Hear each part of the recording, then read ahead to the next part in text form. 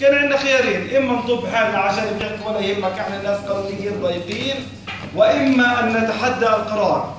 أكثر موقف صائب وطنيا استراتيجيا وتكتيكيا أن نتحدى هذا القرار.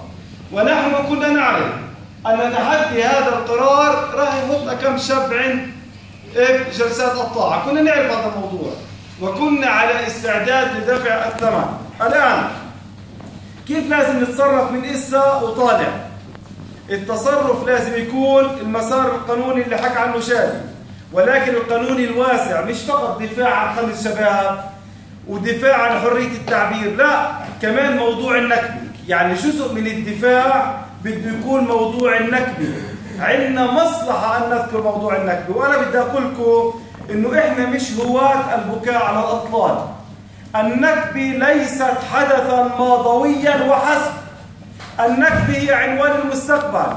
مش راح يكون سلام حقيقي على مستوى اللاجئين وإقامة الدولة الفلسطينية إن لم يكن هنالك اعتراف بالنكبة مش راح تكون مساواة ديمقراطية مساواة حقا وديمقراطية حقا بدون الاعتراف بالنكبة النكبة هي سؤال المستقبل.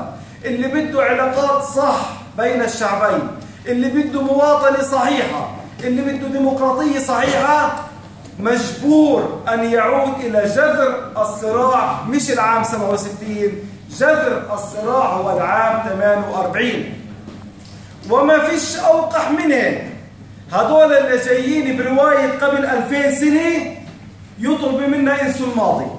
ما فيش أوقح من ناس بتذكروا قبل 2000 سنة وبيبنوا عليها بشبنكة كامل إنه يطلبوا منا ننسى إشي صار قبل 66 سنة والناس اللي تضرروا مباشرة بعدين أحياء هاي وقاحة إسرائيلية أصلا. الآن إحنا إلى جانب كل اللي قلته كل الجدعنة بضل أمر غاية في الأهمية.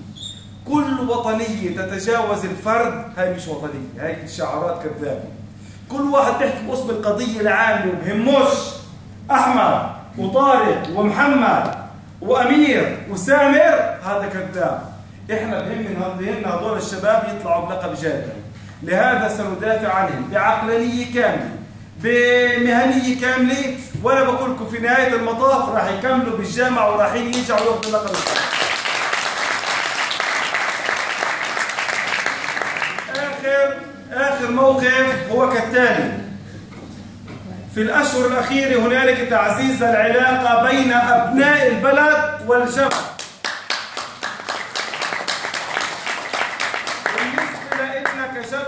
هذا تحالف استراتيجي هذا تحالف اليسار الحقيقي. فإحنا بنحكي لها أهلنا في أبناء البلد.